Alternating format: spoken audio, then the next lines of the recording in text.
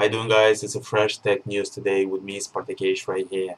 And the news is iPhone 4 supports both GPS and GLONASS. So MacRumors have just discovered that the Apple has updated the tech specs page of the iPhone 4S to note that the new iPhone offers not only assisted GPS but also GLONASS. According to Wikipedia, GLONASS acronym for глобальная навигационная спутниковая система or Global Navigation Satellite System is a radio-based satellite navigation system operated for the Russian government by the Russian Space Forces.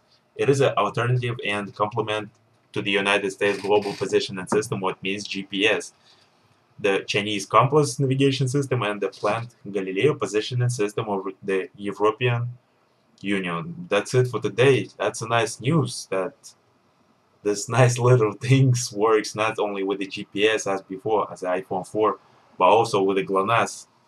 Russian systems. Alright, anyways, don't forget to subscribe if you like those videos that I have and comments.